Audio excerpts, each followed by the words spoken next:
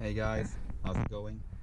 So in this video I want to show you my solution to a problem that I'm having with my BMW i3 and this problem is not related to it being an electric car, it's just a stupid problem that I'm having.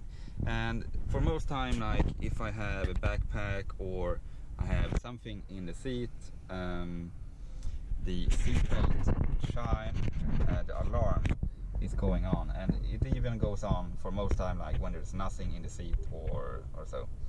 So um, the, the, mo the, most common way would be like what I did in the beginning like reach over for the seatbelt and try to find the buckle and then click that in. And that works but like if I'm driving it gets a little bit hard to reach for this one and uh, click it in um, safely. So I made these in CAD and um, you, you can buy these on like eBay or Think you can find them on like Wish, like anywhere.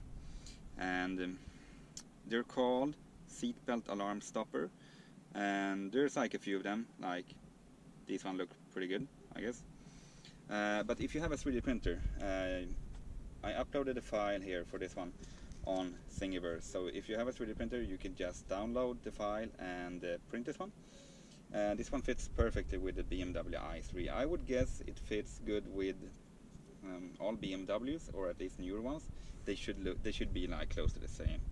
Um, you could also just modify this part in like Fusion 360 if you want to, and um, print longer or thinner or whatever. Um, so yeah, just click this one in, and it fixes the problem. Stops the chime, stops the alarm and really handy. Um, so actually this is my first version, this is the second one and the black one is the one that I have uploaded now. It's a little bit thicker in the bottom so it doesn't rattle as much in here and then it has a bit of a profile to the top too, it looks a little bit better and a little bit shorter here. So it's just uh, design after this one and um, that's about it. So that's all for this time. Um, thank you for watching and see you next time.